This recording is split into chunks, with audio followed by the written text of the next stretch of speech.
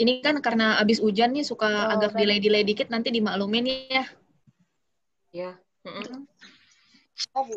Mudah-mudahan sinyal kita bisa lancar.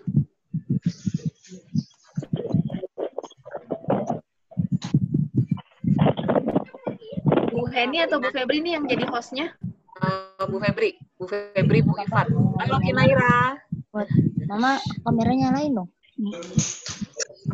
Selamat datang di parenting yang atas kerjasama SMP Negeri 20 disupport penuh oleh uh, Sinar Maslen. Em, saya langsung saja akan eh, menyampaikan susunan acara pada sore hari ini. Yang pertama adalah pembukaan. Bapak Ibu, alangkah baiknya jika acara ini kita buka dengan mengucapkan al-basmalah. Bismillahirrahmanirrahim. Untuk acara selanjutnya yaitu sambutan dari Bapak Kasek atau Kepala SMP Negeri 20 kepada Bapak Sukayuti dan Baik, Bismillahirrahmanirrahim. Assalamualaikum warahmatullahi wabarakatuh. Alhamdulillah. Kedengaran ya Bu Febri?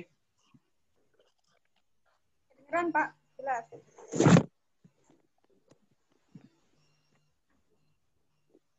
Ya.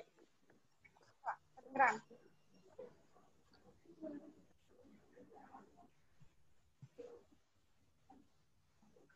Assalamualaikum warahmatullahi wabarakatuh. Alhamdulillah. Alhamdulillahirabbil alamin. Wassalatu wassalamu ala asrofil mursalin wa ala alihi washabihi ajmain. Amma ba'du. Yang kami hormati tentunya di sini adalah rekan-rekan saya, Bu Heni, Bu Febri dan lain sebagainya. Kemudian yang saya hormati adalah pimpinan CNS Sinarmas serta orang tua wali siswa SMP Negeri 20 Kota Tangerang Selatan. Puji syukur marilah kita panjatkan kehadirat Allah Subhanahu wa taala bahwasanya kesempat pada kesempatan kali ini kita bisa bertatap muka walaupun melalui webinar ini. Mudah-mudahan uh, pertemuan kali ini akan membawakan hasil yang maksimal walaupun mungkin agak sedikit negatif. Di sini mungkin menyusul, mudah-mudahan menyusul masih seperti kemarin masih uh, hanya sekitar 15 persen orang tua yang bisa masuk apakah karena keterbatasan atau sebagainya. Baik, Bapak dan Ibu wali murid eh, SMP 20 Kota Tangerang Selatan yang saya banggakan. Eh, saya merasakan kebahagiaan yang luar biasa karena pada kesempatan kali ini eh, kita bisa menyelenggarakan sebuah kegiatan di mana pada zaman global hari ini kita uh, dibutuhkan yaitu adanya perubahan di dalam kita melakukan kegiatan pembelajaran. Dan Bapak Ibu selaku uh, pendamping yang harus mendampingi orang tua apa anak-anak kita tentunya uh, soal ini uh, berbeda dengan belajar di masa yang lampau. Di zaman digital sekarang ini kita membutuhkan hal-hal yang lebih prinsipil. Walaupun demikian, ya jangan kita lupakan uh, secara karakteristis kita. Maka pada kesempatan kali ini SMP Negeri 20 Kota Tangerang Selatan yang bekerja sama dengan CRS Sinarmas BSD mudah-mudahan ini menjadikan uh, bekal bagi Bapak dan Ibu sekalian.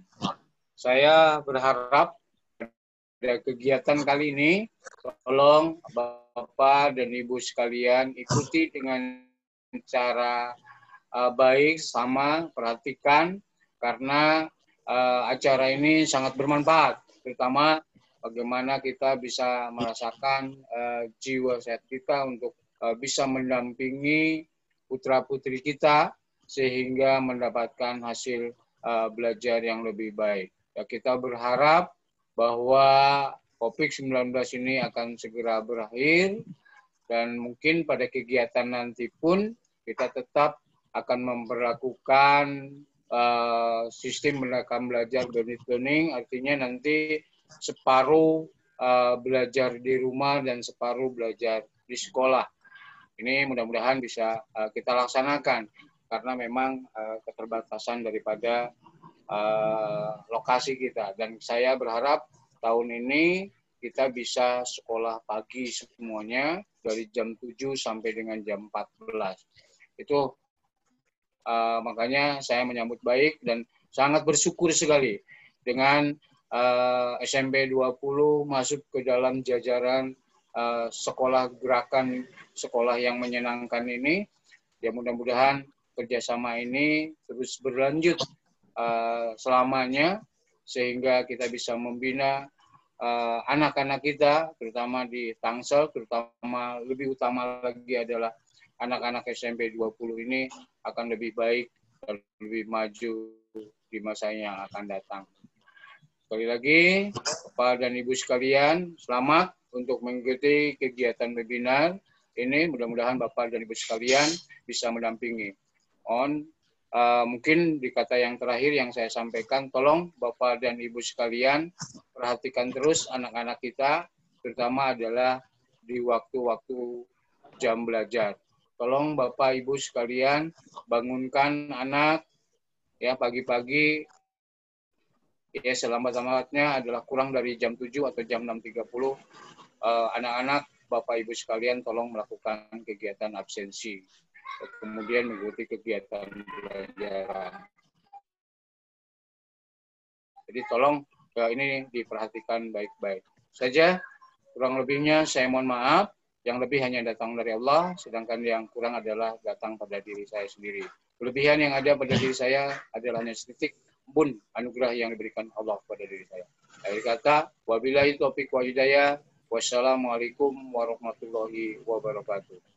Waalaikumsalam warahmatullahi wabarakatuh. Baik, selanjutnya terima kasih untuk Bapak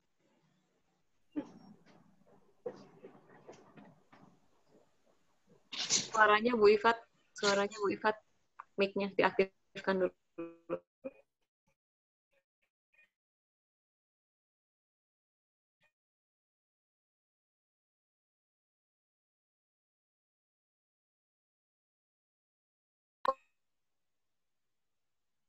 Oke.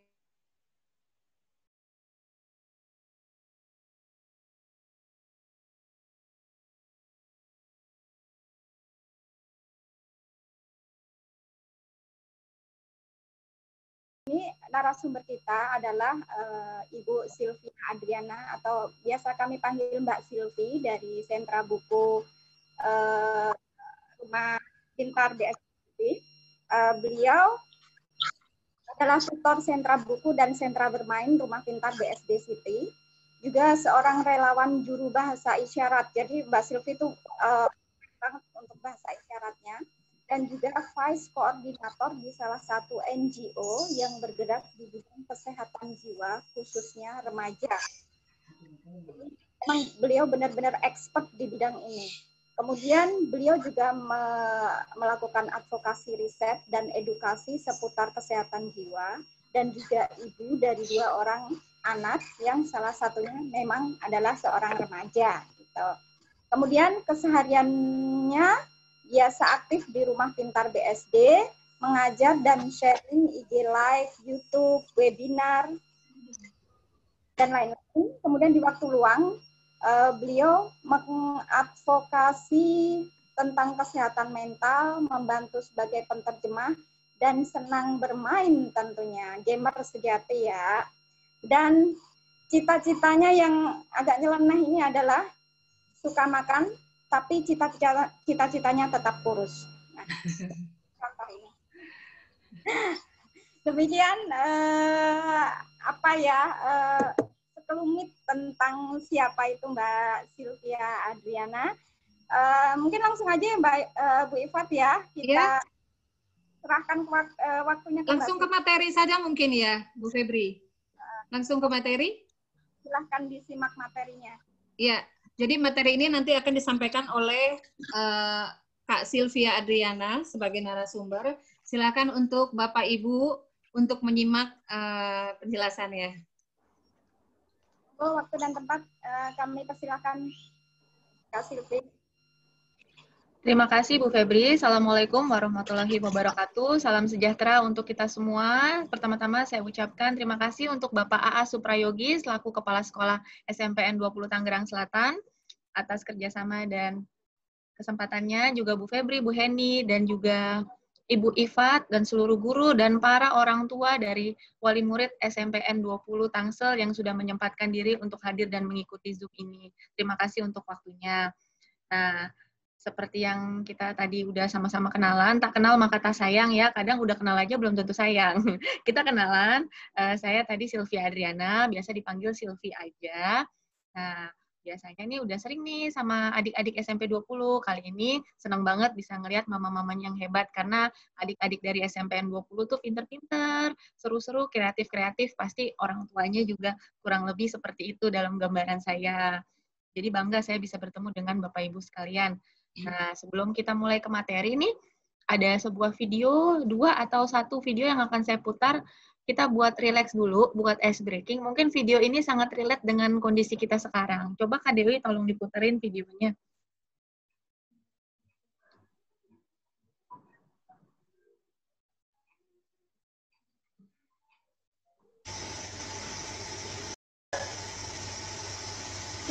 Number three. This is Justin. Ini cowok loh. Lihat mama. This is Justin. Ini cowok. Titik titik likes to play soccer. Yaitu dia suka sepak bola. Berarti apa nih cowok apa cewek? Cowok. Kalau cowok apa? Cowok he. Hi, tulis number He. Hi. Ini loh he. Iya bacanya hi. Coba Siapa yang relate dengan kondisi tersebut kalau di rumah?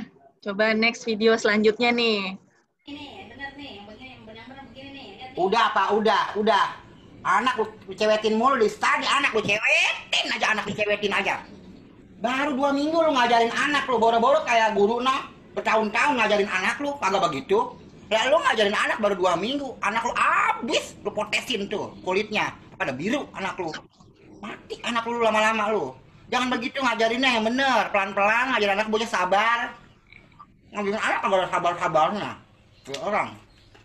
Udah bayangin kalau kagak mau ngajarin, gue ngajarin. Ngomelin anak lu dari tadi, lu dari pas ngomelin anak. Ajarin bener, pelan-pelan, ajarin bocah.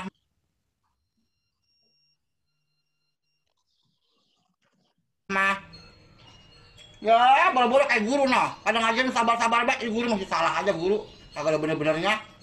Makanya tuh, biar lu pada mikirin tuh, gara-gara corona, lu anak lu pada belajar sama lu, lu bisa gak tuh ngajarin anak? Coba guru mah. Ya, pada cakep ngajarin anak lu, lu mah boleh-boleh ngajarin anak bisa, gitu.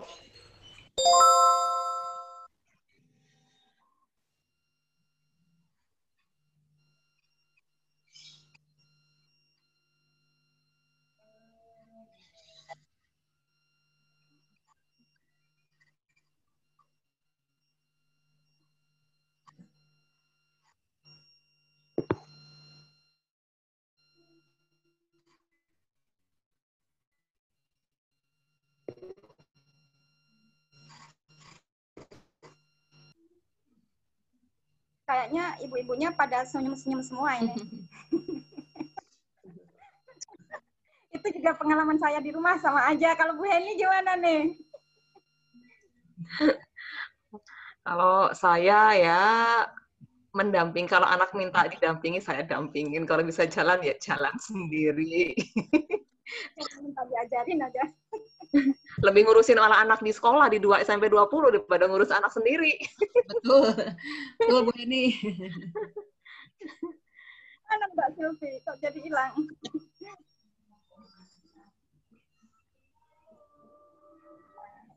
Sudah, Mbak Silvi masuk kembali. Sepertinya memang jaringannya agak-agak error. Bu ini nanti siap-siap kalau aku keluar tiba-tiba berarti Bu ini yang menggantikannya. Kita tekan aja. Assalamualaikum. Ya, Waalaikumsalam Mbak Silvi. Nah, aku kembali, I'm back. Sorry, ini tadi sinyalnya tiba-tiba menghilang, jadi aku harus ganti wifi. Gimana tadi, Bapak Ibu udah lihat videonya kan? Sudah. Ada nggak semua Mbak Silvi? Udah ya, kira-kira video Ya, videonya tuh relate banget sih ya sama kisah kita sehari-hari ya sebagai ibu, terutama ibu yang benar-benar di rumah sama anak-anaknya kurang lebih darah tingginya seperti itu ya. Ya, sebenarnya eh, itu hal yang sangat wajar dan sangat manusiawi karena nggak semua orang dibekali untuk bisa ngajarin anak setiap hari kayak gitu. Kan berarti kita lebih jauh gitu loh mendalami diri kita sendiri. Kak Dewi, slide-nya dong.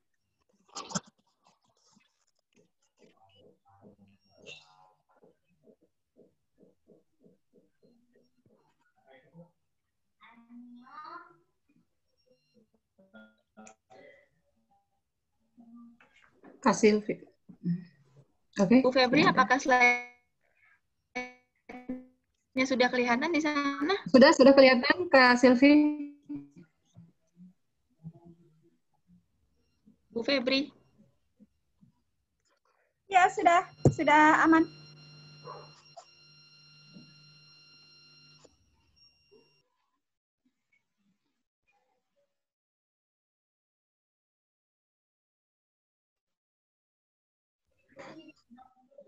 Sudah aman. Oh,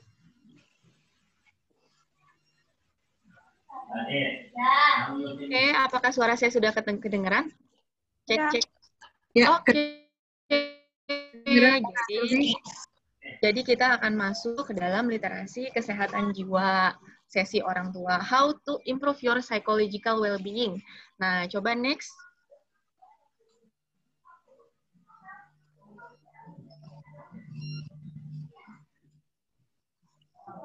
Ya. Oke, sudah kelihatan slide selanjutnya? Sudah?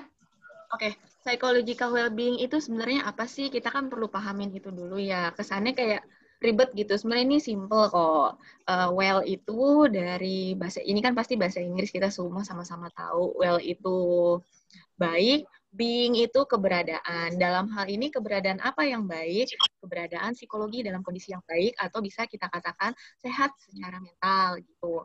Kalau menurut Bapak Ibu sekalian, mana yang lebih penting? Sehat fisik atau sehat mental? Mungkin sebagai guru dan orang tua kita hari-hari pada prakteknya kita benar-benar menyeimbangkan itu semua, coba kita pikir ulang. Biasanya kalau nggak usah sakit parah, kita baru batuk, pilek, udah buru-buru cari kayu putih, cari obat batuk, istirahat.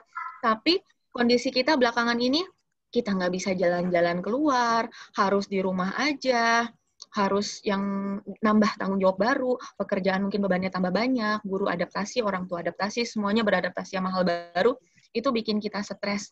Dan kita mencoba bertahan dari semuanya itu di masa pandemik ini, itu bikin pasti ngomel sama anak-anak, nggak bisa keluar, anak PR dan tugasnya banyak, ini pandemik sampai kapan? Berapa lama pandemik ini akan selesai. Jadi banyak konflik karena di rumah, ketemu terus sama anak yang komunikasinya kurang baik, atau dengan pasangan juga akhirnya banyak konflik dan kita sering berantem. Coba next, Kak Dewi. Next, Kak Dewi. Iya, jadi menurut ahlinya well-being, menurut RIF itu untuk menjaga well-being itu sendiri atau kewarasan ya dalam artian uh, well-being itu adalah kewarasan kita, awareness kita terhadap kesehatan jiwa kita nih sebagai orang tua, terutama ibu-ibu dan bapak-bapak karena kita udah ngurus banyak hal, ngurus keluarga kita segala macam sampai kita bahkan suka sering lupa untuk ngurus diri kita sendiri kan karena terlalu banyak yang kita urus. Memang tugas ayah ibu memang cukup berat. Jadi menurut RIF ini, nah untuk menjaga well-being ini kita perlu menguasai lingkungan atau environmental mastery gitu. Jadi gini, lingkungan kita kan berubah. Itu menimbulkan eh, hal-hal uh, yang sulit kita terima gitu loh. Mungkin banyak yang memang uh, tadinya nggak gaptek, banyak guru atau orang jadinya buang kuota juga, terus jadi banyak keluar uang di rumah dan segala macam, nggak keluar rumah, tapi ini pengeluarannya jadi lebih banyak dan sebagainya. Nah, ini kan menimbulkan suasana yang tidak nyaman. Suasana yang tidak nyaman ini sudah pasti bakalan nimbulin emosi yang negatif. Emosi negatif yang sering kita terima setiap hari, itu berarti nggak ada yang namanya well-being di sini.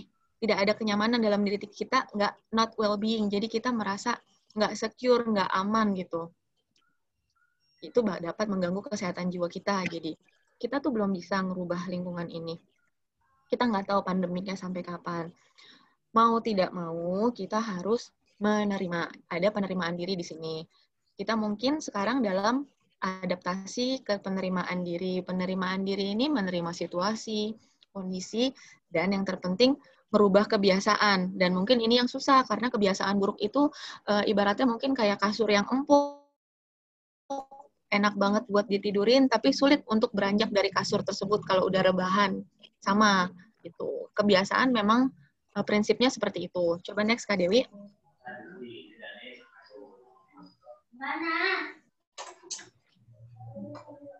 Next. Ya tapi menurut John C. Maxwell leadership dia juga penulis pertama-tama itu kita bentuk kebiasaan-kebiasaan kita. Setelah itu kebiasaan-kebiasaan tersebutlah yang membentuk kita. Jadi kebiasaan baik-baik maupun buruk itu bisa kita bentuk kok. Tenang aja Bapak Ibu. Jadi nggak karena berubah terus kita nggak bisa. Kita bisa asal kita mau coba untuk merubah kebiasaan-kebiasaan kita. Dan mungkin kita sekarang sudah di tahap beradaptasi ya untuk merubah-merubah kebiasaan tersebut. Coba next Kak Dewi.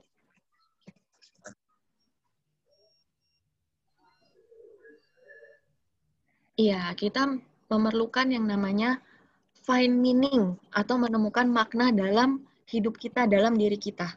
Di sini uh, saya memperkenalkan sesuatu ada yang namanya personal grow. Personal grow itu apa? Jadi personal grow itu adalah bagaimana kita dapat menunjukkan kematangan, terus kedewasaan. Itu uh, ada lima hal ya. Coba Kak Dewi, ini kok di aku nggak muncul ya? Oke, yang pertama dalam bekerja. Bapak Ibu sekalian bukan hanya yang guru saja atau yang bekerja di kantor, yang di rumah pun kita juga bekerja. Bahkan pekerjaan di rumah itu cenderung nggak ada habisnya, nggak habis-habis kan, yang cucian, yang segala macam. Jadi apa pun pekerjaan kita, lakukan sebaik mungkin. Kita bisa beri jiwa dalam pekerjaan yang kita lakukan. Kita berupaya yang terbaik. Misalnya guru memberikan tugas yang dirancang nggak asal-asalan sedemikian rupa dan ketika murid mengucapkan terima kasih Bu, terima kasih Pak, itu kan pasti kita senang kan sebagai guru ada merasakan kebahagiaan, kebanggaan tersendiri gitu. Kita bermanfaat untuk murid-murid kita. Juga orang tua sama, walaupun hanya nyuci piring, walaupun hanya sekedar ngepel dan segala macam, kita lakukan dengan senang hati, cucian bersih, piring bersih, anak kita, suami, makan dengan peralatan yang sehat, bersih, kita senyum, anak senyum, anak happy, itu kan juga orang tua pasti senang. Jadi biasakan untuk apa-apa dibawa dengan pekerjaan dibawa dengan happy. Mungkin orang tua di rumah ini curhatan dari anak-anak, terutama remaja, bilang kalau orang tuanya nggak dibantuin, mamanya ngedumel. Gimana sih bukannya ngebantuin orang tua? Kamu tidur aja asik-asikan main HP, tapi giliran ngebantuin, aduh, ngebantuin malah bikin ribet, udah sana sana sana, anak pun serba salah gitu. Itu kan karena orang tuanya udah senewan duluan. Jadi biasakan untuk berikan jiwa kita dalam setiap pekerjaan kita lakukan dengan senang hati. Dan juga kita belajar menemukan makna lewat belajar. Kita belajar terus untuk beradaptasi untuk hal yang baru juga beribadah.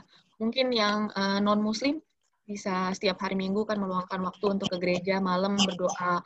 Untuk yang muslim uh, seperti dosen saya misalnya uh, beliau uh, antara beliau mengatakan antara maghrib ke isya tuh ada waktunya kan jedanya yang nggak terlalu jauh antara waktu jeda maghrib ke isya itu dia pakai untuk baca Quran biar cuma selembar dua lembar tapi hal-hal seperti itu dijadikan rutin selain sholat lima waktu jadi jangan lupa untuk menyeimbangkan antara bekerja belajar dan beribadah kita karena memerlukan hal ini juga nggak bisa dan juga senang-senang gitu. Senang-senang ini perlu. Kalau cuma bekerja, belajar, beribadah kan bosan.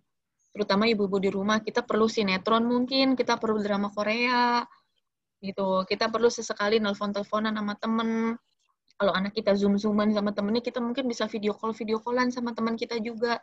Itu nggak apa-apa kok, itu seni dari merawat diri kita sendiri. Dan yang terpenting, istirahat yang cukup karena semua yang kita lakukan kita perlu istirahat untuk energi esok harinya. Jadi antara bekerja, belajar, beribadah, senang-senang dan beristirahat, kita berikan jiwa kepada lima hal ini dan kita lakukan ini setiap harinya secara teratur supaya kitanya menemukan makna dalam diri kita. Jadi nggak sekedar bangun tidur, ah tugas lagi, bangun tidur, aduh ngurus anak lagi pusing. Jadi kita mencoba untuk menikmati situasi ini. Next.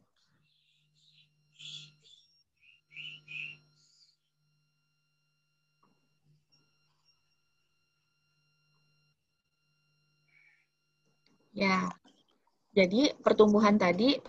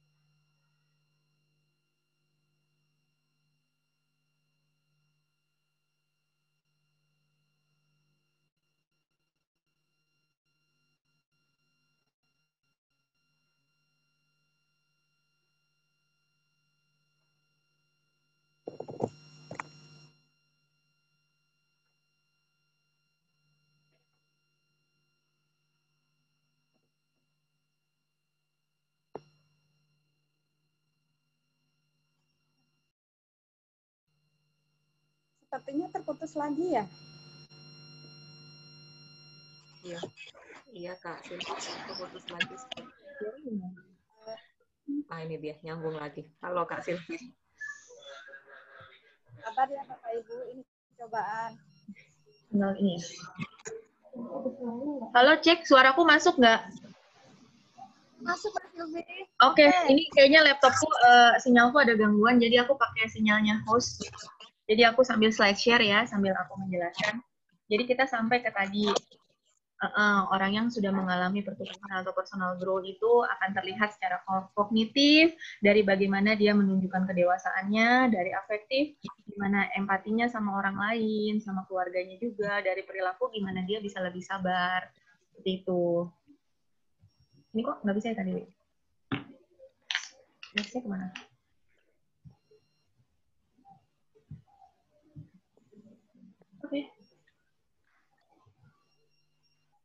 Nah, ini mungkin yang di rumah nih perlu nih. Gimana sih caranya menjaga well-being sama anak dan keluarga di rumah? Nah, terutama sama anak. Suaraku kedengeran ya Bu Feb ya? Oke. Gimana cara menjaga well-being sama anak di rumah? Ada yang namanya academic well-being. Di sini bukan berarti, oh academic well-being berarti nilainya harus Halo, enggak. Halo? Kedengeran? Nah, nih, sekarang lagi yuk, monggo. Oke, ya jadi kita perlu menjaga well-being bersama anak nih di rumah. Pasti ini jadi pertanyaan banyak orang nih yang di sini. Jadi sebenarnya ada yang namanya uh, academic well-being. Academic well-being itu seperti apa sih? Jadi bukan berarti loh kok, ush, kepencet. Ini kok nggak bisa? Dewi?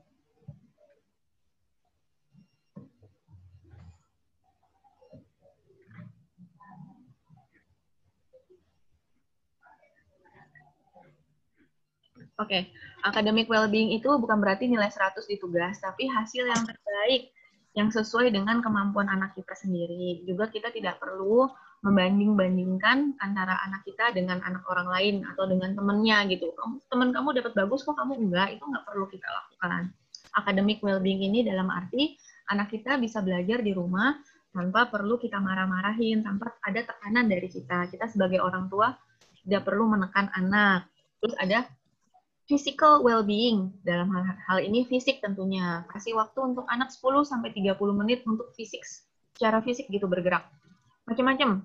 Misalnya bisa aja kita ngajak anak kita untuk bantu pekerjaan rumah. Kita libatkan dia dalam kegiatan rumah tangga seperti nyuci atau nyuci motor, ngepel, nyapu segala macam karena itu penting. Anak kita pun jadi lebih mandiri dan merasa jadi bagian dari keluarga karena dilibatkan dalam pekerjaan rumah tangga juga yang terpenting ini ada social emotional well-being, di mana hubungan sosial emosional orang tua dan anak ini akan paling dekat dengan keluarga. Jadi kita bisa main sama anak, sharing cerita sama anak. Kita perlu menyukuri apa yang kita bisa lakukan sama anak di masa-masa pandemi ini. Kita jadi bisa lebih dekat gitu sama anak. Caranya gimana? Misalnya gini, eh, contoh yang paling sering itu banyak yang merasa kesulitan untuk menentukan antara jadwal bermain dan jadwal belajar Nah, di sini kita bisa bikin agreement sama anak. Bikin kesepakatan dengan anak kita sendiri gitu. Jadi yang dia butuhkan itu adalah uh, keterlibatan dia dalam membuat kesepakatan. Misalnya jam malam deh, jangan pernah sekali-kali kita coba ngasih ke anak, pokoknya kalau jam 10 harus tidur ya harus harus tidur. Ya nggak peduli. Alasannya apa? Pokoknya harus tidur aja. Kita perlu komunikasi sama dia karena yang mau kita pengen tidur jam 10 itu kan dia. Tanyain, "Dek, kamu kalau menurut mama kamu tidur jam segini loh, menurut kamu, kamu enaknya jam berapa? Kalau dia ngeyel jam 12, kita bisa tanya, alasannya apa? Jadi kita coba untuk komunikasikan ke anak kita dan libatkan dia dalam membuat agreement atau kesepakatan di rumah. Yang kedua nih yang paling penting, lihat sisi positif dari anak. Jadi gini loh, kenapa kita menganggap belajar di rumah ini memang uh, pastinya butuh penyesuaian, tapi kita kenapa menganggap selalu ini masalah, masalah, masalah karena kita sudah dari awal fokus ini sebuah perubahan, ini hal yang sulit saya terima. Jadi kita fokus ke sisi negatifnya dan kita menganggap semua hal ini masalah. Karena kita menganggap hal ini masalah, makanya segala sesuatunya berjalan dengan lebih sulit gitu.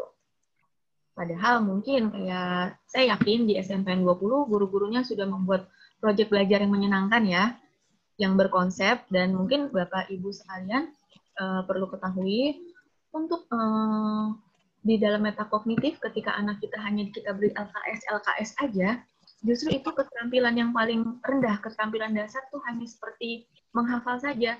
Kalau misalnya guru sudah mempersiapkan materi yang melibatkan uh, ada social emotional learningnya ada pembuatan project itu kita alhamdulillah bersyukur sekali sebagai orang tua dengan anak yang memiliki guru seperti itu cara belajarnya karena itu dampaknya akan sangat baik ke anak kita. Jadi tolong Bapak Ibu jangan terfokus dengan LKS LKS dan worksheet worksheet atau lembar-lembar soal saja gitu. Ada bentuk pembelajaran lain yang menyenangkan dari untuk anak kita gitu. Jadi coba next. Itu gimana ya?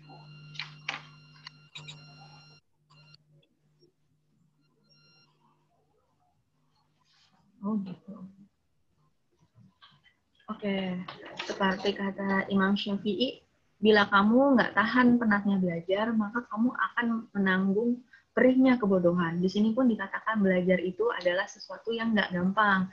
Mungkin kita penat, mungkin kita pusing, tapi kita perlu memperjuangkan hal ini supaya kita nggak nggak tahu perihnya kebodohan seperti apa, supaya anak-anak kita nggak menanggungnya.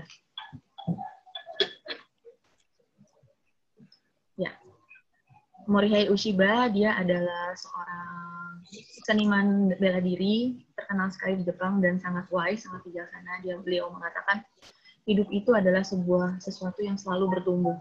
Kalau kita berhenti bertumbuh, berarti kita secara teknis dan secara spiritual kita sama aja seperti orang mati. Jadi dalam pertumbuhan ini perubahan selalu ada. Selalu banyak hal perubahan dan yang mengatakan perubahan selalu ke arah yang baik jika kita mau berusaha juga untuk berubah ke arah yang baik tersebut. Jadi Bapak Ibu, walaupun memang ini berat, uh, selama belajar di rumah berat, ibu bapak mungkin stres, ibu guru juga stres, tapi di sini, apalagi di SMPN 20 ini sudah ada kolaborasi yang cukup baik ya, antara guru, orang tua murid, dan juga anak-anaknya. Ada pembelajaran yang lebih interaktif. Jadi, apa pun masalahnya bisa dibicarakan, merasa lelah itu hal yang wajar, Bapak Ibu tidak sendiri, mungkin kita bisa saling support.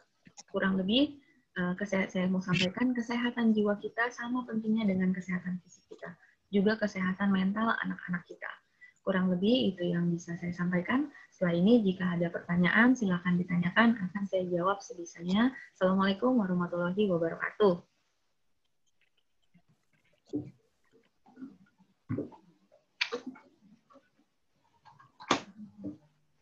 Mohon maaf ya tadi koneksinya nggak stabil. Ya, beberapa kali uh, terkat gitu, Mbak. Hmm, iya iya. Uh, jadi uh,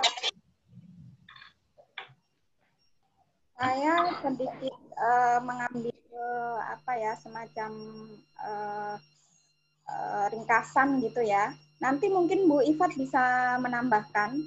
Uh, jadi uh, inti inti dari uh, menjadi orang tua adalah sebenarnya pada saat pandemi ini uh, mungkin nggak uh, cuma satu dua orang yang merasa lelah dan uh, ber apa ya uh, dari sesuatu yang memang sudah sudah nyaman kemudian kita dipaksa untuk uh, melalui keadaan yang benar-benar uh, benar-benar complicated gitu. Tapi uh, bagaimana kita bisa mengelola uh, semua semua apa konflik ini baik di rumah anak belajar bagaimana kemudian uh, mungkin uh, apa ya uh, pengeluaran pengeluaran banyak bertambah dan lain sebagainya bagaimana kita mengelola masalah-masalah ini menjadi uh, dan menyesuaikan diri dengan keadaan karena kita nggak nggak tahu sampai kapan covid ini terus berlangsung. Kemudian uh, kaitannya sama anak ada tiga, tiga hal tadi, ada academic well-being, ada physical well-being, kemudian ada social emotional well-being. Kalau academic well-being tadi uh, bagaimana orang tua bisa menciptakan uh, menciptakan uh, atmosfer pembelajaran yang uh, anak belajar tetapi tidak dipaksa gitu ya Mbak Silvi ya. Halo Mbak Silvi. Ya, kedengeran. Dengar. Oke, sip. Kemudian yang kedua, physical well-being uh, terkait dengan fisik, di mana anak-anak tetap melakukan aktivitas fisik, uh, seperti membantu uh, orang tua di rumah. Kemudian yang ketiga ada social emotional well-being, di mana anak-anak uh, tetap berinteraksi dengan sehat. Uh, kemudian uh, apa ya, rumah menjadi tempat yang menyenangkan, walaupun uh, apa uh, pandemi ini masih berlangsung uh, ada ini nggak Mbak? Ada apa namanya? Ada ada koreksi nggak? Enggak, sudah cukup. Bu Ifat mungkin mau menambahkan Bu Ifat? Mungkin ya. Saya tunggu dari yang lain. Nah, Bu Ifat sepertinya tidak menambahkan. Uh, maka uh, kita masuk ke sesi selanjutnya yaitu tanya jawab. Silakan sesi tanya jawab mungkin untuk tiga penanya dulu. Bapak Ibu boleh curhat di sini. Uh, kita jadikan ini uh, sebagai apa ya? Uh, uh, mungkin uh, apa yang Ibu rasakan ternyata mewakili banyak sekali yang uh, mewakili banyak rasa di uh, forum ini. Seperti itu. Silahkan, ada yang mau nanya?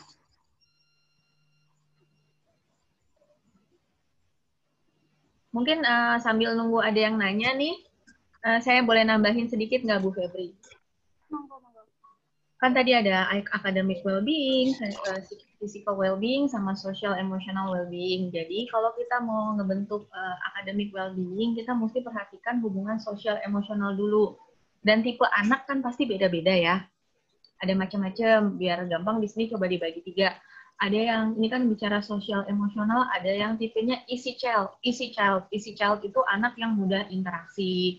Mungkin dari kecil pola tidurnya juga teratur, mudah beradaptasi. Ini cenderung untuk kita gampang mengarahkannya. Terus ada yang namanya slow to warm up child. Ini tipenya tipe anak yang memang punya kemampuan menyesuaikan dirinya lebih lama daripada yang lain gitu. Jadi anak yang tipe ini memerlukan kesabaran yang lebih gitu dalam prosesnya dia butuh arahan tapi dia akhirnya bisa dan mungkin yang paling sulit ada yang namanya difficult child jadi uh, memang awalnya kedengarannya sulit tapi anak yang difficult child ini anak yang memegang teguh prinsipnya jadi kita bisa ngasih pengertian ke dia itu setiap orang beda, tapi tetap anak kita yang difficult ini, yang sulit diatur ini, tetap anak yang baik. Dan penanganannya tiap tipe-tipe anak ini pun beda-beda. Yang terpenting dari semua ini, kita harus bisa sebagai orang tua punya kemampuan untuk mengarahkan anak mengenali emosinya. Seperti itu, Bu Febri. Jadi mungkin anak nggak ada clue nih gimana ngenalin emosi dari orang tua mungkin eh, yang lebih tahu ngasih tahu ke anak oh gini loh dek caranya seperti itu. Eh, ada yang mau nanya lagi, ibu-ibu? Ya, silakan buat Bapak Ibu, mungkin ada yang mau ditanyakan? Saya deh, saya nanya. Oh iya, Bu Heni.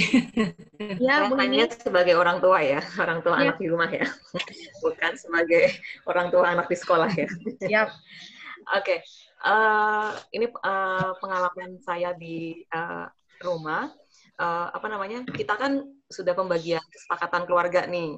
Nah, kebetulan sudah berjalan satu bulan ini, eh, kami di keluarga tidak ada asisten rumah tangga ya yang membantu kami di rumah eh, karena memang dia pulang kampung terus saya tahan dulu dan balik ke sini karena kondisi lagi covid begini.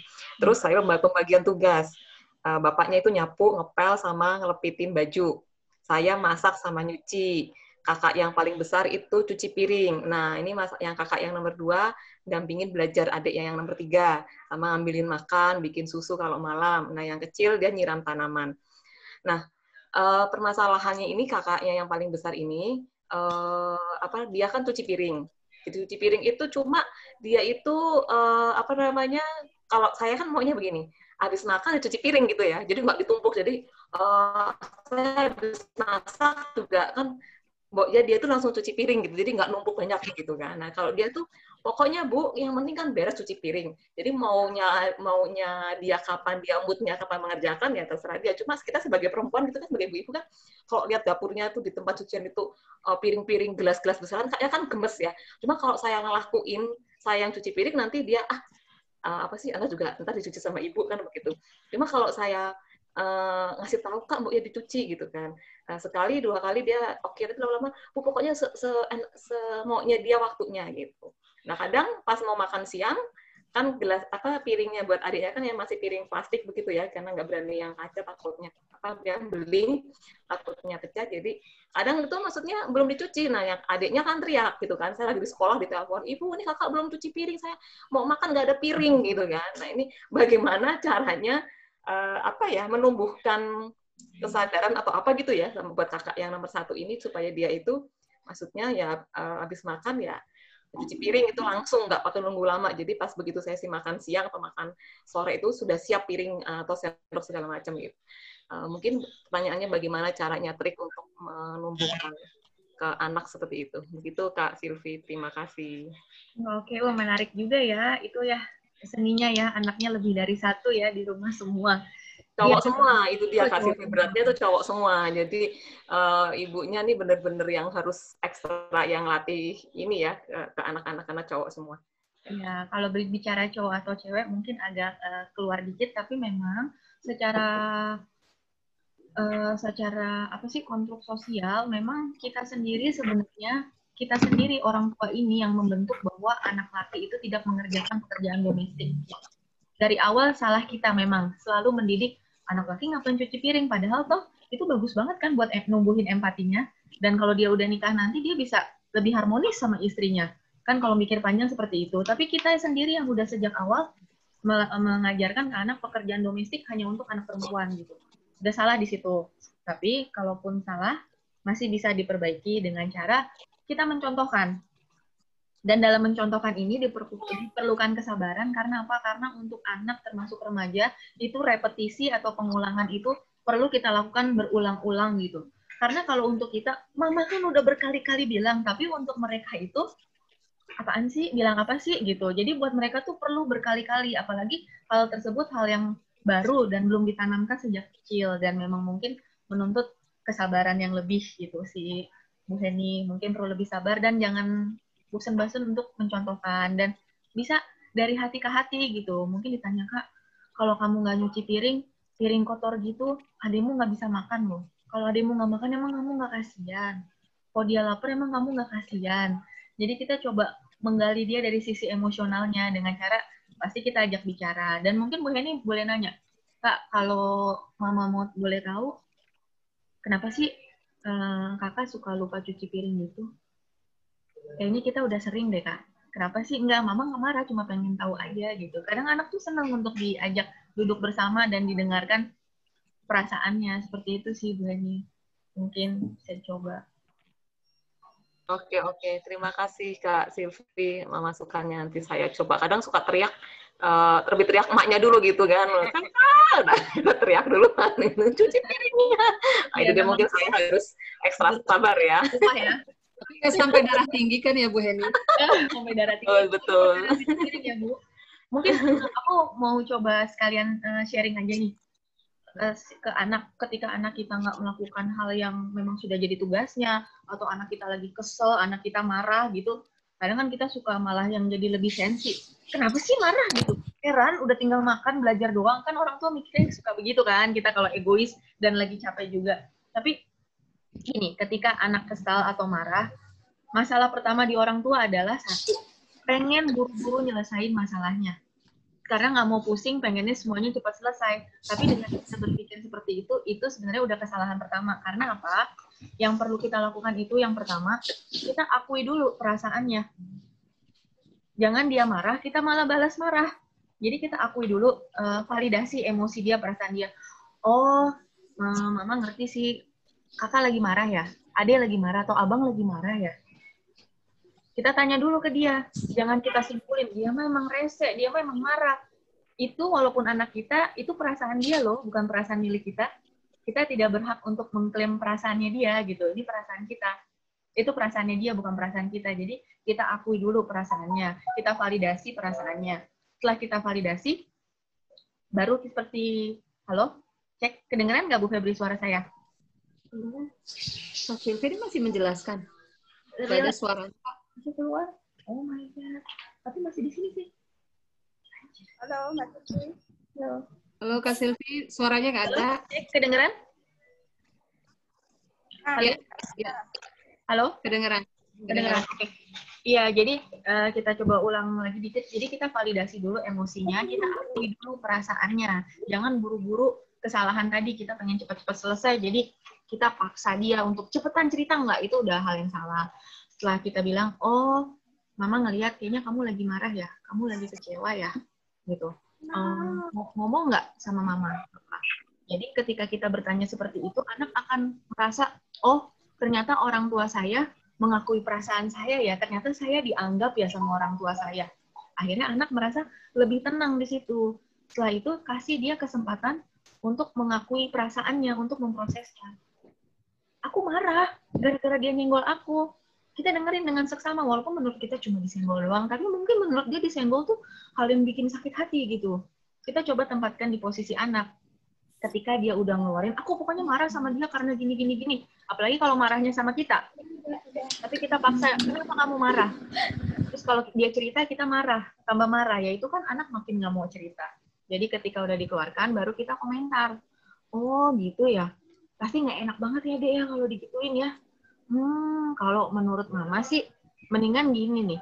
Menurut kamu gimana? Itu menurut mama sih. Dan kita bisa nambahin cerita kita tuh pengalaman kita waktu dulu mama siapa tahu punya anak anak Dia kepala sekolah. frekuensi dengan anak gitu anak Bapak orang tuanya sefrekuensi sama dia kalau anak kita nggak mau jawab nggak usah marah tinggal kita bilang ya mama paham kamu belum mau jawab nggak apa-apa kok tapi kalau misalnya kamu pengen ngomong cari mama aja ya. Mama siap kok dengerin kamu. Jadi anak kita tahu sekalipun dia ngambek seperti apa pun ada orang tuanya ada ayah dan ibunya yang siap mendengarkan dia seperti itu. Jadi intinya itu kita menghargai perasaan anak.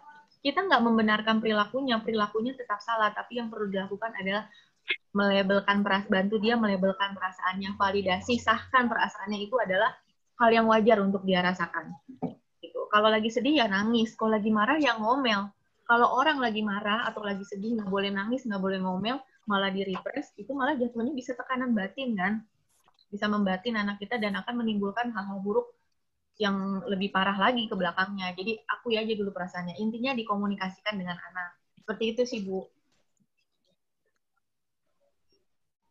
Ya, ya, baik. Jadi Mbak Silvi, orang tua itu cenderung kurang komunikatif, kemudian menganggap bahwa sebagai orang tua dia selalu benar. Kurang lebih seperti itu ya, Mbak ya? Iya. Padahal Iya, kadang-kadang egonya seperti itu orang tua. uh, kita tuh banyak salahnya kan juga kadang-kadang, tapi uh, bagaimana mungkin kita mengajarkan anak-anak untuk minta maaf kalau kita sendiri kadang juga uh, ego sebagai orang tua um, bikin kita susah untuk minta maaf gitu karena orang tua selalu benar gitu gitu ya Mbak Silvia Itu mungkin yang harus kita buang jauh-jauh sih. Kita perlu sebagai orang tua ada kalanya kita perlu membuang ego kita gitu. Jadi kita menempatkan anak kita ini walaupun kita yang lahirin atau ayah yang biayain, tapi kita perlu paham dia individu yang beda, yang punya potensinya sendiri, yang punya kemampuan sendiri, yang punya hak atas dirinya sendiri gitu. Mungkin nih ada beberapa cara, mungkin aku mau sharing beberapa cara. Lagi yang mau ditanyakan mungkin Bu Febri itu ke Bapak Ibu yang lain? Iya, selamat sore. Oh iya, selamat sore. Ini Ya, kayaknya maaf ibunya. Bun. Iya, dari mau apa anak saya di kelas 91. Iya. Eh, materi ini sangat bagus untuk kami eh, sebagai orang tua apalagi di saat ini. Eh, apa di eh, memang mau tidak mau anak harus di dalam rumah demi kesehatan mereka juga. Tetapi resikonya kalau di dalam rumah tangan di eh, HP di tangan terus, mata di HP terus seperti itu. Jadi dan di HP kami intip saya sebagai orang tua saya intip ya lagi main game online lagi, main game online lagi di jam belajar gitu. Nah, sebagai orang tua tentunya saya sebagai ibu langsung deh urat saya langsung keluar ngomong ngoceh-ngoceh. Karena ini jam belajar, masih jam 10 udah megang, sudah main game online. Saya bilang, nggak ada tugas. Lihat aja mami di tugasku di Google ini. Waduh, emaknya, aduh gimana ini. Nah, seperti itu. Jadi, uh, mungkin untuk saya sadar, mungkin bukan saya saja yang urat kita hampir keluar setiap saat. Apalagi di jam belajar lihat anak-anak main game online. Saya pikir daripada mereka keluar ya sudah saya kasih biar aja main game online. Karena tugas uh, untuk membersihkan rumah mereka sudah lakukan. Nonton mereka uh, kalau siang TV tidak ada yang tidak ada yang baik bagi mereka gitu kan tidak ada yang bagus di mata mereka. Jadi serba salah sebagai ibu di rumah. Betul kata Bu Heni. Uh, lebih baik kita ngajar di anak orang daripada anak sendiri. Saya mengalami itu. Saya juga pernah seorang guru lebih enak ngajar anak lain daripada anak sendiri karena kita nggak tega marahin anak sendiri terkadang ya atau nanti anaknya keburu cemberut nggak masuk di hatinya gitu. Yang ada nanti membangkang gitu. Kita mencegah anak sendiri membangkang ke diri kita sendiri gitu kan. Campur buat kita. Nah yang saya mau tanyakan eh, apa ya kira-kira solusinya bagi uh, kita orang tua yang saat ini mau tidak mau juga berada di rumah mendampingi anak di jam belajar. Memang uh, apa saya melihat saya cek suka suka cek ya termasuk daftar absennya Krisnoper itu terkadang bangun. Nah risikonya begini bu maaf agak panjang ya. Jadi kalau saya ngomel dia maunya ke rumah neneknya di Pangulang, saya kan di Permata. Nah, tapi akhirnya besoknya saya harus cek pagi-pagi ke rumahnya, ke rumah neneknya, atau saya bangunkan lewat WA. Ayo bangun, absen, absen, absen, gitu. Terus akhirnya mau tidak mau saya, Krisnoper dan bapaknya mempunyai WA grup sendiri kami bertiga. Dia mau harus melapor ke saya ada di samping saya, dia ada di samping saya atau tidak, dia harus lapor ke saya apa yang dikerjakan, apa yang diberi tugas oleh sekolah dan harus lapor ke saya. jam berapa dia harus selesai tugasnya saya tahu jadi dia screenshot semua tugas-tugas itu yang dikasih dari sekolah Nah, jadi walaupun saya ada di sampingnya, saya bilang, Bapakmu ada di luar, jadi tolong screenshot kesepakatan kita. Apa pun tugasmu, selama kamu belajar online, kamu screenshot semua tugas-tugasmu. Jadi memang saya agak sedikit keras kalau memang masalah pendidikan sama anak. Mungkin Bu Febri, eh, guru kelas 8, kelas 7 tahu saya memang agak sedikit keras dengan anak saya. Karena saya pikir uh, tarik ulur juga sih. Saya pikir uh, manfaatnya nanti di kemudian hari. Apalagi anak saya tiga-tiganya juga sama dengan Bu Heni laki-laki. Jadi saya agak agak memang agak saklek istilahnya. Saya bilang anak orang aja berhasil, masa anak saya nggak berhasil kan sedih juga kitanya.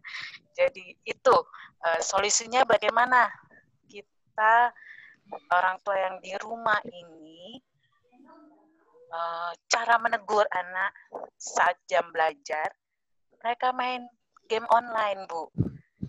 Nah, walaupun tugas sekolah mungkin sudah selesai, eh, walaupun ada juga sih yang bolong-bolong, saya bapaknya yang rajin cek ke Bu Febri. uh, karena bapaknya, ah, nanti kamu ini uh, ceknya ini lebih aku yang tanya-tanya ya sudah tanya jadi memang saya akui saya yang lebih saklek eh, masalah anak gitu. Jadi yang saya mau tanyakan bagaimana solusi kita di jam belajar khususnya jika melihat anak kita main go game online, Bu. Nah, seperti itu. Itu kan uh, bagi mereka itu mau uh, kami menyadari itu refreshing juga. Tetapi uh, saya pribadi saya sedih waduh jam belajar kok masih main game online iya. gitu. Kalau ditanya tugasnya mana udah selesai, sudah. Padahal ada juga yang bolong, saya tahu itu. Jadi itu. Cek, cek. Uh, cek. Suara hilang. Mungkin bisa langsung dijawab kali ya, Mbak. Oh ya, oke okay, boleh. Uh, kalau boleh. Terima kasih. Iya Bu, terima kasih ibunya dari Christopher. Iya. Terima kasih, Bu. Untuk ya. Terima kasih Ibu sudah bersabar sampai dengan saat ini. Luar biasa sekali. Saya apresiasi kesabaran Ibu terhadap Christopher.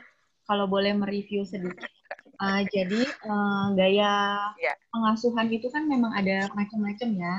Ada gaya pengasuhan yang apa uh, auto autoritatif, neglectful, indulgent, terus ada ya. juga yang namanya tipenya tuh uh, push parenting push parenting itu jadi orang tua yang menerapkan gaya pengasuhan push parenting ini berdalih bahwa mereka terpaksa menerapkan gaya pengasuhan tersebut, mereka merasakan ketakutan dan kekhawatiran yang berlebihan akan masa depan anak kita.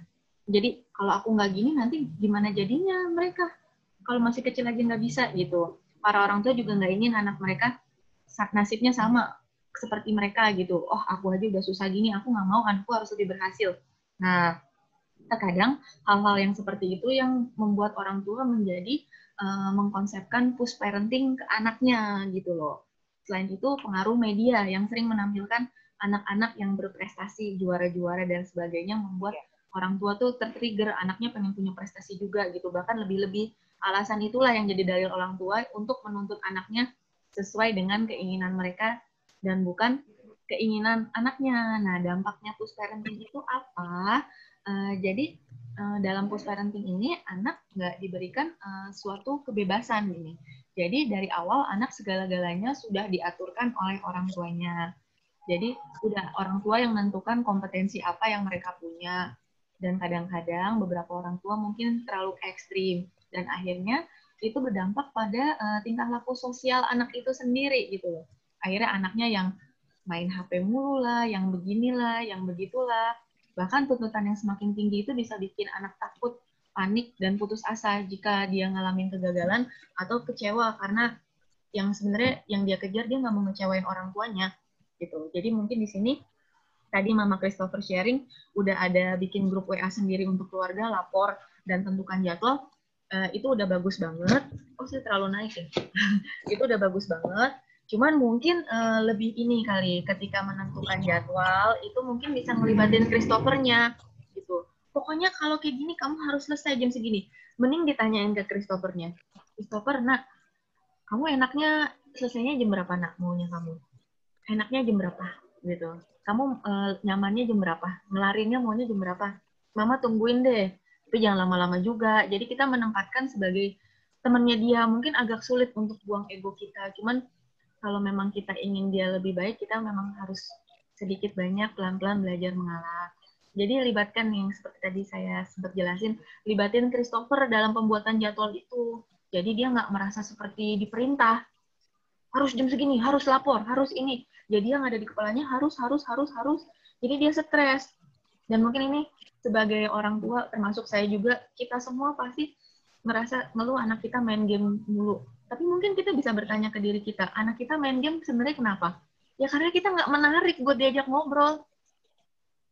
Ngapain ngomong sama mama gue, papa gue, bawel, nyuruh-nyuruh ngomong lu mending main game sama teman hahaha Oh ternyata kita yang cukup menyebalkan. Kadang kita lupa kalau kita tuh nyebelin banget buat anak kita. Sementara kita nganggap anak kita tuh nyebelin banget. Jadi udah ada kondisi saling sebel gitu, saling gregetan.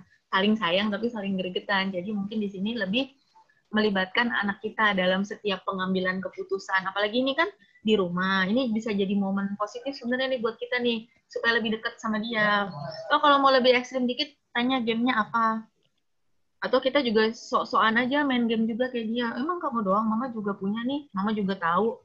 Dan kita mungkin bisa pakai karakter di game itu untuk menjelaskan ke anak kita eh, bawa ke obrolan santai gitu. Jadi mungkin di sini untuk semua orang tua juga uh, karena gini loh, karena penggunaan gadget itu tergantung gimana uh, orang tuanya sejak awal gitu.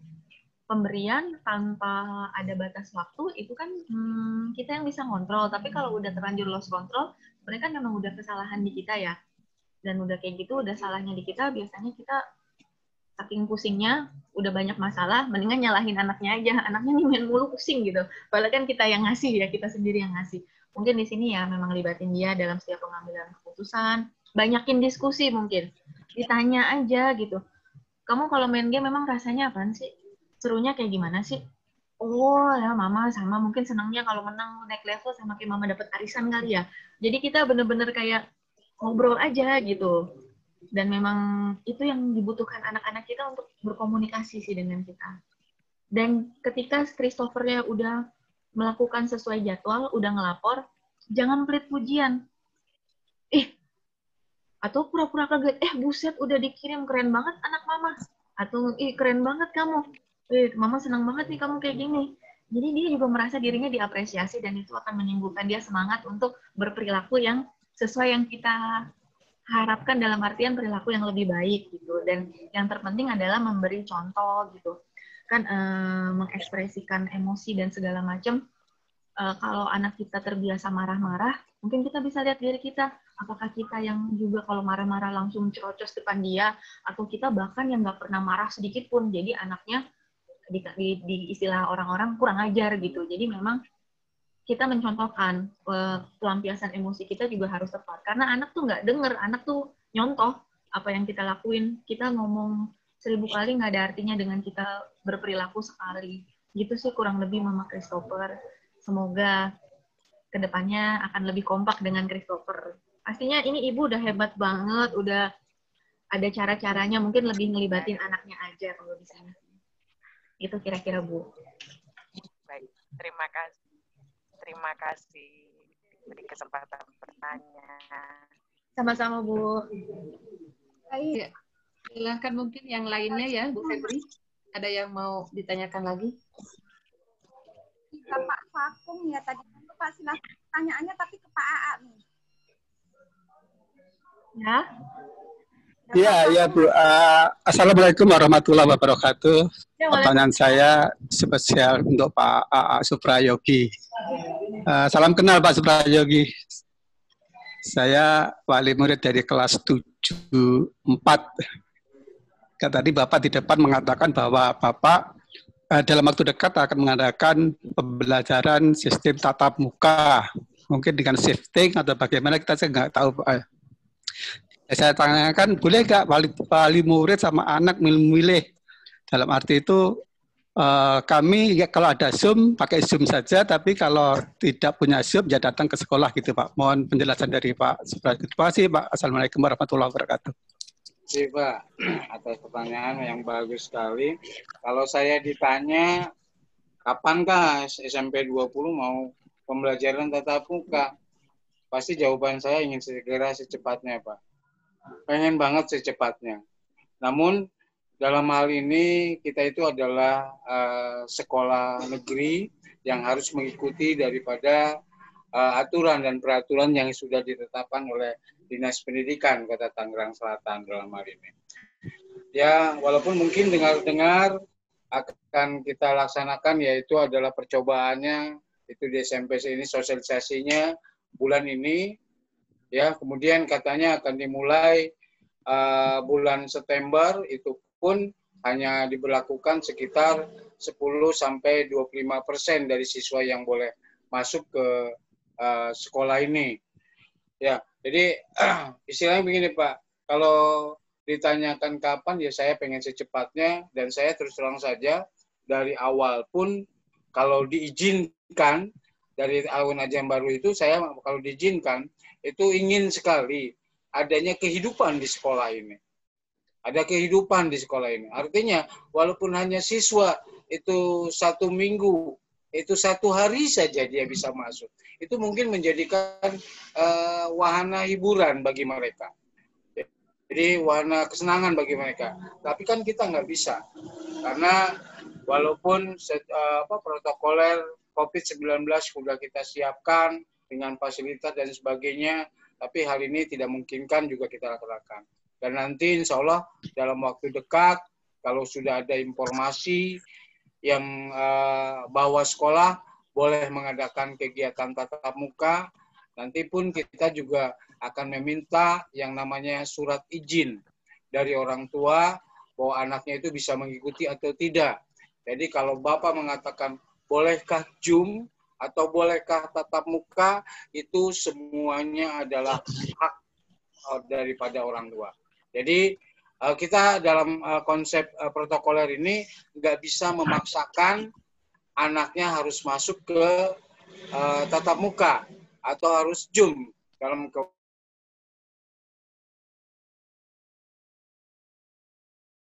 restu daripada uh, orang tua atau wali murid untuk bisa kegiatan tatap muka. Kalau misalkan uh, orang tua atau murid tidak bisa uh, anaknya tidak diizinkan untuk kegiatan tatap muka, itu pun tidak menjadikan persoalan.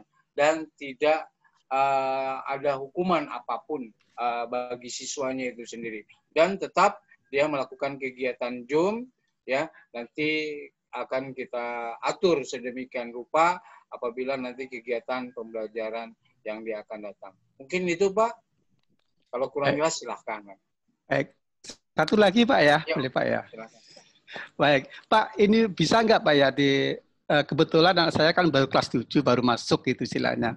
Tahu-tahu dia kena daring jadi nggak nggak pernah ketemu temennya, nggak pernah ketemu gurunya segala macam. Dan saya lihat itu sangat-sangat uh, apa ya secara psikologi itu sangat anak-anak itu sangat jenuh sekali dan di rumah pak bisa nggak mungkin dalam satu minggu itu sekali dua, dua kali itu dengan zoom gitu aja minimal dia dia tahu wajah teman-temannya atau wajah gurunya gitu pak bisa nggak pak terima kasih pak Ya Pak. Ah, makanya dalam hal ini, Bapak anak kelas kelas 7 berapa Pak? Kelas 7 4 Pak. Wali kelasnya siapa Pak? Ibu Ifat ya. Ya Ibu Ifat, kebetulan Bu Ifat ya, ada nih. Iya ada. Nah, Bu Ifat, ini adalah salah satu daripada permohonan uh, daripada orang tua.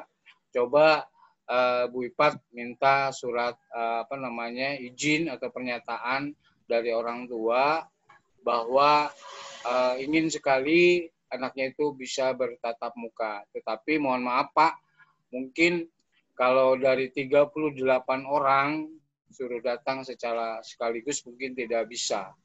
Ya, tetapi kita bisa atur yaitu bisa 30 persennya bisa hadir secara bergiliran. Itu pun kalau ada uh, permintaan atau permohonan dari wali siswa. Nah ini juga nanti akan kita sampaikan kepada Dinas Pendidikan dan Kebudayaan Kota Tangerang Selatan. Saya berharap Pak, emang itulah keinginan saya sebenarnya. Tadi saya katakan ingin adanya kehidupan di SMP Negeri 20 ini. Ya, yang hadir bukan bosen Pak, yang dilihat Bu Heni lagi, Bu Heni lagi. Bu Ipat, Bu Febri, pengennya anak-anak Bu yang bisa kita ketemu gitu loh. Saya pengen kenalan banget sama anak-anak. Walaupun mungkin dari Zoom saya sudah berkenalan. Ya, itu keinginan. Kita doakan aja Pak lah. Mudah-mudahan tidak ada lagi uh, mudah-mudahan apa program dari Dinas Pendidikan September bisa ada tatap muka walaupun hanya 25 persen uh, siswa bisa hadir di sekolah.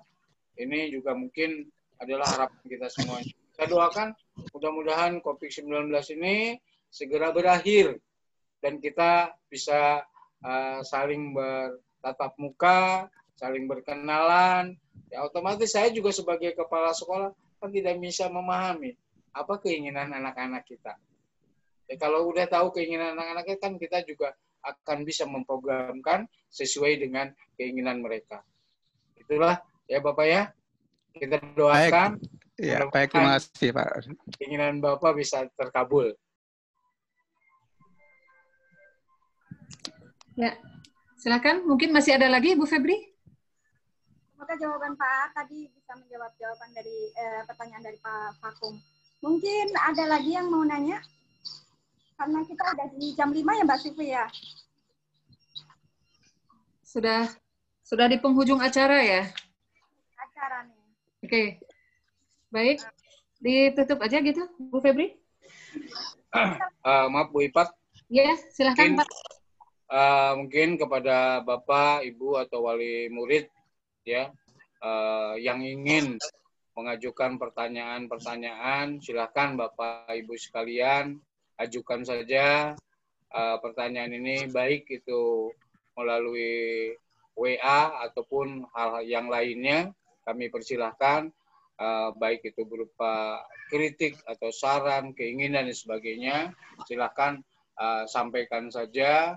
Ya boleh ke langsung apa namanya ke saya atau melalui Bu Heni, melalui uh, Pak Saiful, ya sampaikan saja. Mudah-mudahan nanti Bu Heni dengan Pak Saiful kan bisa menyampaikan. Bu Heni selaku uh, kurikulum, kemudian uh, Pak Saiful sebagai kesiswaan. Ya, saya sangat berharap sekali ada masukan-masukan, kritik serta sarannya untuk bisa sama-sama membangun uh, sekolah yang kita cinta ini. Ya, tentunya harapan kita adalah lebih baik, lebih baik dan lebih baik. Itulah harapan saya.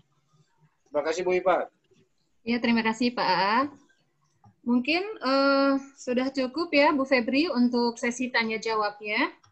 Uh, tanpa terasa kita sudah sampai ke penghujung acara. Semoga acara webinar ini membawa manfaat untuk kita semua, terutama dalam menghadapi uh, permasalahan yang dihadapi anak-anak. Jadi kita harus pandai-pandai mengelola emosi, jangan sampai darah tinggi, karena eh, masing-masing uh, anak itu kan berbeda cara penanganannya. Walaupun itu misalnya dalam satu keluarga, itu kita menghadapi antara kakak, adik itu pasti berbeda cara penanganannya. Mungkin itu saja. Uh, sekian. Oh, jangan lupa. Bu Febri, Bu Febri mungkin ada yang ingin ditambahkan? Uh, mungkin uh, saya juga mau mengucapkan terima kasih untuk SMPN 20, terima kasih buat Pak AA Suprayogi, Bu Febri, Bu Heni, dan juga Ibu Ifat. Terima kasih banyak. Nah, mungkin pesan-pesannya saya juga untuk orang tua murid di sini, para wali murid, terima kasih banyak juga untuk para peserta didik, pesan saya adalah uh, gunakan manfaat uh, manfaat dari belajar daring ini sebagai sarana untuk berkolaborasi antara sekolah, guru, dan orang tua. Bapak Ibu sekalian mungkin bisa saya katakan beruntung karena SMPN 20 ini termasuk sekolah yang sangat komunikatif ya dengan orang tua. Semoga semuanya bisa berjalan dengan lancar lewat komunikasi yang positif. Dan kita semua selalu diberi kesabaran. Kalau gitu, uh, jangan lupa juga untuk memberikan, saya mewakili CSR Sinar Maslen mengucapkan terima kasih juga. Jadi Kak Silvi juga mau minta feedback, masukan, atau sarannya, pesan dan kesan dari acara ini, uh, mungkin bisa lewat poster atau foto di tag, boleh ke Instagram at CSR Sinar Maslen. Gitu. Ya Bu Sipa, saya juga mengucapkan banyak-banyak terima kasih kepada uh, Bu Sipa Silvi, dan Bu Silvi. umumnya adalah Sipi ya, kepada umumnya ada eh, Sinarmas. Mudah-mudahan eh, nggak ada bosan-bosannya untuk membantu eh, kita. Ya mudah-mudahan hari ini kita melalui Zoom, Insya Allah ya di lain kesempatan kita bisa mengadakan kegiatan ini dengan cara tatap muka. Saja, terima kasih atas eh, segala bantuannya. Assalamualaikum warahmatullahi wabarakatuh. Assalamualaikum warahmatullahi Ya, Mas. Bapak Ibu mungkin eh, ini eh, terakhir bisa minta tolong anak-anak ya Bapak Ibu untuk ngetek at Sinar Maslen eh, untuk saran dan kesannya tentang webinar ini. Mungkin kan ada sebagian yang belum punya akun IG, lewat anak-anak aja nggak apa-apa. Itu Bapak Ibu, Alhamdulillah semua, terima kasih semua. Assalamualaikum warahmatullahi wabarakatuh. Dadah. Dadah, terima kasih semuanya. Mohon maaf ya. Terima kasih Kak Silvi, Bu Febri, Bu Ifat. Oke, Ya, dadah semuanya. Sehat terus. Assalamualaikum. Izin lah. Ya. Gak kangen sama gurunya.